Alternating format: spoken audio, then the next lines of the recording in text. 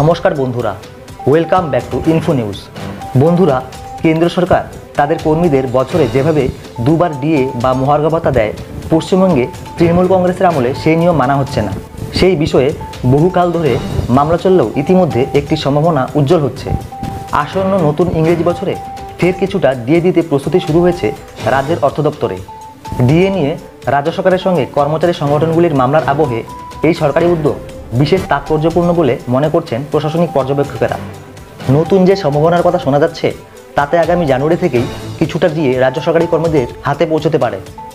রাজ্যে ষষ্ঠ বেতন কমিশনের সুপারিশ বলবৎ হয়েছে দু হাজার কুড়ি সালের পয়লা জানুয়ারি থেকে। সে বছর রাজ্য সরকার অবশ্য কোনো ডিএ দেয়নি। দু হাজার একুশ সালের পয়লা জানুয়ারি থ্রি পার্সেন্ট দিয়ে দিয়েছে তারা। চলতি বছরে ডিএর কোনো কিস্তি ঘোষণা করা হয়নি। আধিকারিকদের বক্তব্য আগের বারের মতো জানুয়ারিতে একই পরিমাণ দিয়ে দিতে পারে রাজ্য। যদিও সরকারিভাবে এ বিষয়ে মুখ খুলতে চাননি কেউই।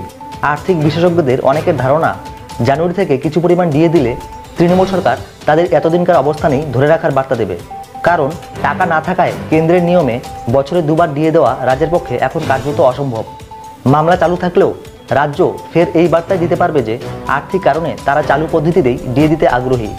অবশ্য বকেয়া ডিএ নিয়ে রাজ্য সরকারের অবস্থান কী হবে তা পুরোপুরি নির্ভর করছে সুপ্রিম কোর্টের রায়ের ওপর। রাজ্য প্রশাসনিক ট্রাইব্যুনাল এবং কলকাতা হাইকোর্ট ডিএ মিটিয়ে দেওয়ার নির্দেশ দিয়েছে রাজ্য সরকারকে। সেই নির্দেশের বিরুদ্ধে সুপ্রিম কোর্টের দ্বারস্থ হয়েছে রাজ্য। শীর্ষ আদালত সেই মামলা গ্রহণ করবে কিনা আগামী সোমবার তার শুনানি রয়েছে বলে মামলাকারী কর্মচারী সংগঠন সূত্রের খবর রয়েছে। প্রশাসনিক কর্তাদের পর্যবেক্ষণ কেন্দ্রীয় হারে দিয়ে দেওয়া বা বকেয়া মেটানোর সম্ভাবনা এখনই হয়তো নেই, কারণ শীর্ষ আদালতে এর নিষ্পত্তি এখনও হয়নি। তাই এতদিনের নিজস্ব পদ্ধতিতেই ডিএ দেওয়ার পথে হাঁটতে পারে রাজ্য। বন্ধুরা, আপনাদের জানিয়ে রাখি ডিএর পরিমাণ একশো পঁচিশ শতাংশ করে ষষ্ঠ বেতন কমিশনের সুপারিশ বলবৎ করা হয়েছিল। কিন্তু নতুন বেতন কাঠামোয় এখনও পর্যন্ত কর্মীরা তিন শতাংশ হারে ডিএ পাচ্ছেন। অথচ কেন্দ্রীয় সরকার প্রতি বছর জানুয়ারি ও জুলাইয়ে ডিএ দিয়ে যাচ্ছে।